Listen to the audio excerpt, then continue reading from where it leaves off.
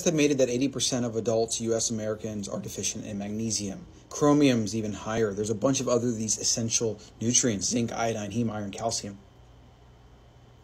It's such an easy fix. It's such an easy fix. You just supplement with some minerals. Okay? Earth, soil derived.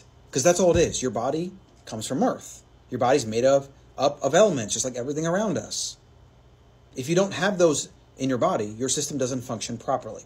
Every single thing you do, your results are going to be worse. You're trying to lose weight, worse results. You're trying to build muscle, worse results.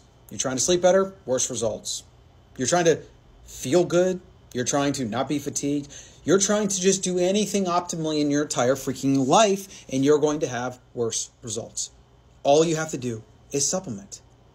Supplement strategically. Now, why do we have to supplement? Because the food system sucks. Look at the history of food in America.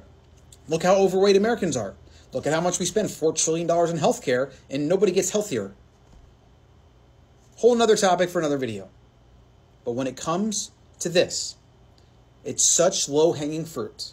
It's so easy to fix. Start with a really solid magnesium complex. All right. Maybe do some electrolytes with other, like it's got some zinc in there. This is for men, but there's also some minerals in here as well as adaptogens. Just get a few of these things to cover your bases and do that every single day.